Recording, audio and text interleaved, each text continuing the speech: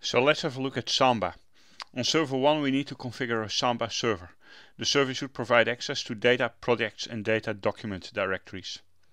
The data projects directory should be accessible only by members of the group management and the data documents directory should be available by members of the group management as well as the group staff. You can create users as needed to test the setup. And next we need on server 2 to make sure that the Samba shares are mounted persistently on MNT projects and MNT documents. And we need to mount the shares as user Betty using the multi-user mount option. So let's translate this to a real task because it looks easy but there's a couple of things that we should be aware of. Uh, first part of course is not anything difficult. Second part, uh, this is about the accessibility uh, by uh, some groups and we might want to configure some access control lists for that uh, or we might want to configure uh, allow group options to allow specific groups only. Now, this question doesn't mention anything specific, specifically about the uh, the access permissions. On the exam, again, you will see specific uh, mentioning of access permissions. So that means that access control lists is a less likely option, and the more likely option is to use the uh, the Samba control options. But nevertheless, uh, we probably don't want to configure anything like uh, chmod 777 on the shares, so it might be a good idea to combine both of them. Uh, so you can create users as needed to test the setup. There is no specific requirement for users, which means that our user Betty uh, is a user that we are just going to create. On server 2, that's the other server, we are going to make persistent mounts and we need the multi-user mount option as well. well. Let's go ahead and do it. So we are on server 1 here and we need to create some directories to start with. mkdir-p uh, data projects and same for data documents. Next, data projects should be, should be accessible only by the member of the group management. Data documents should be available for members of group management as well as the group staff. So what we are going to do, we are going to consider that the availability means read-write availability for those uh, groups and that means that we are going to create some groups, use some access control lists uh, and so on on the Linux file system level. Before moving over to Samba, uh, while working with Samba, it's a good idea uh, to take care of everything that's on Linux first. So let's start with a group add, group add management, and let's do group add staff as well. Uh, we don't see anything about specific users uh, except for user Betty. So user Betty is a user that is going to be uh, used uh, for multi-user mounting. And in multi-user mounting we need a user that has minimal access permissions.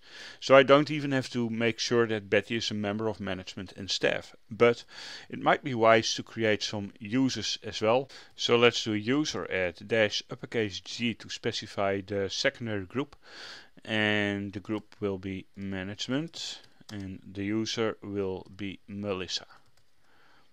And we need to do the same for staff so that would be user add dash g uh, staff and the user we are going to create is Shirley. Uh, the uh, the exercise doesn't ask anything but it's good to have some users to test the next thing to do is the configuration of permissions. So in the data directory we have documents, we have projects and let's start by doing ch uh, grp uh, of management to the projects directory and chgrp of staff to the documents directory and in situations like that, I really like chmod 770 on these directories uh, to limit accessibility to just members of these groups. Now the documents directory needs to be accessible by management as well. Assuming that management is management, they probably want full access. So that would be set facl uh, dash m for modify. Uh, G colon management colon rwx on documents. I don't need the recursive option here because we don't have any files in the documents directory yet. Now access control lists are nice, but remember you also have to specify a default ACL for all new files that are going to be created. And from what we see right here, it looks like we are pretty okay with the Linux file system stuff. Uh, we also need SMB pass WD for the users, of course. So SMB tab tab is showing everything that's available. If we do SMB pass WD dash A Melissa, uh, we can set a Samba password for user Melissa. And if we do the same for Shirley, we can set a password for user Shirley as well. So there we go. Now the next thing is the Samba configuration. Let's just do rpm-qa pipe grep uh, Samba to find out what exactly has been installed. So we have Samba client, Samba commands, uh, Samba libs.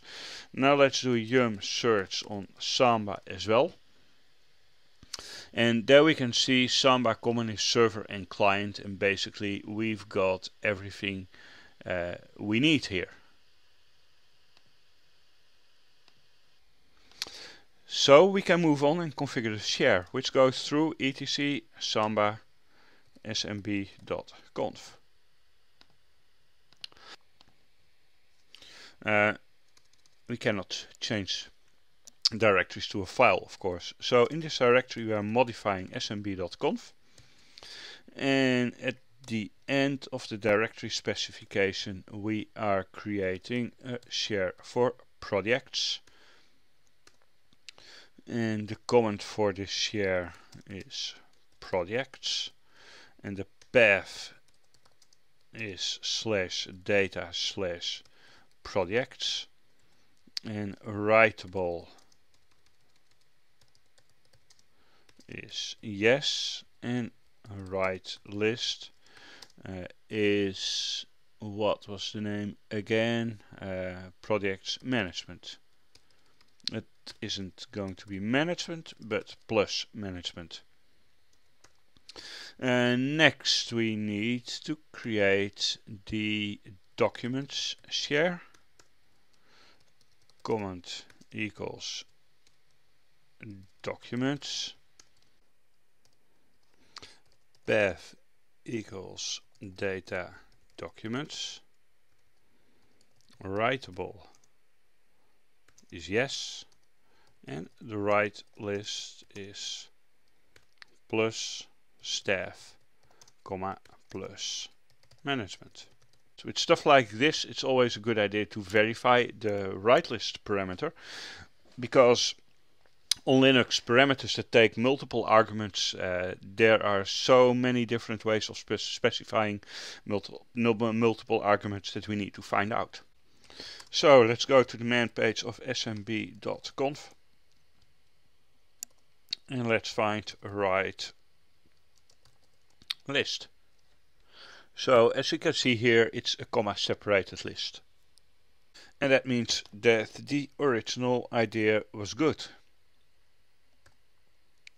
Now we can move on and use systemctl uh, start smb. Well, we don't have any SMB server. Oh, now look at that. I completely overlooked installing the Samba package. So you install dash y Samba. So systemctl start SMB. Let's do the same for NMB. Uh, NMB is not really needed, but it allows you to do name resolution. It just makes your Samba server work more smoothly. So I would highly recommend to include it anyway. And we are going to enable it, as well as the Samba servers. So in case you're wondering, uh, is that allowed to, to have servers running that they don't ask for specifically? Of course, because I mean, by default, your machine will be running different services anyway. So if you need anything else to get the situation that you need on your exam, you are free to, to start it. Now the next thing I want to do before moving on is smb client-l on slash slash localhost. It's entering for root password. I don't need root passwords to do browsing. And we can see that the share projects and documents uh, is available. There's one more thing we need to do and that's firewalling. So firewall cmd dash dash get services is what we need to find out what exactly the names are. So we have Samba and we have uh, no NMB you know what? This is maybe one of those moments that it's not a bad idea to have a look in the firewall configuration file. So user lib firewall uh, d and in there we have services and let's open the samba dot .xml file to see what exactly it's doing.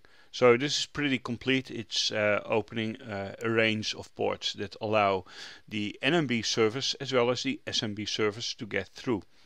Also it's taking care of uh, connection tracking for firewalling for NetBIOS traffic. So this is the one we need to include. Now that we are looking at them, there's a Samba client XML as well. Uh, which allows you to access Windows files and printer sharing networks and uh, okay, this is the client side, so that is probably what we need to do on the other host. So firewall dash cmd dash dash uh, add service samba in a permanent way and firewall cmd uh, dash dash reload.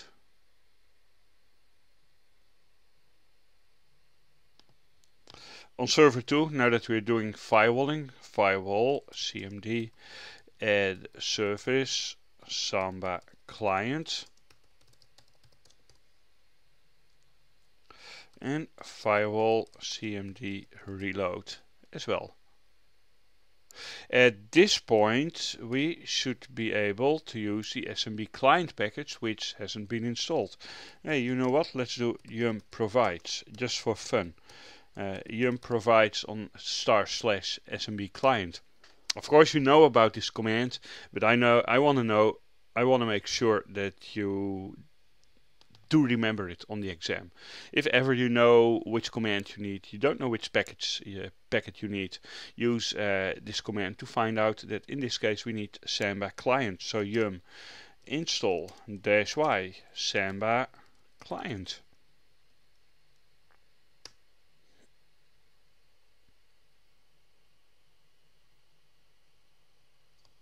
Now that we're talking about stuff like that, let's also do a yum search on CIFS. There's a CIFS utils uh, package, utilities for mounting and managing CIFS mounts. You really want to install that as well. So yum install this y uh, CIFS utils. It's a little bit confusing because you would say that the Samba client is giving you anything, but that's not the case. Include CIFS utils as well for completeness. So what we are going to do now is uh, SMB client on dash L on uh, server 1.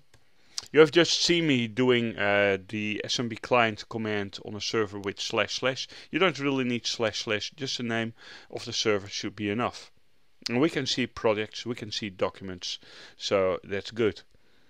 Now we can move on to the, se uh, the second step. In the second step we need to make sure that both Samba shares are mounted persistently on MNT projects and MNT documents. Mount the shares as user Betty using the multi-user mount option. So we need a user Betty on server 1.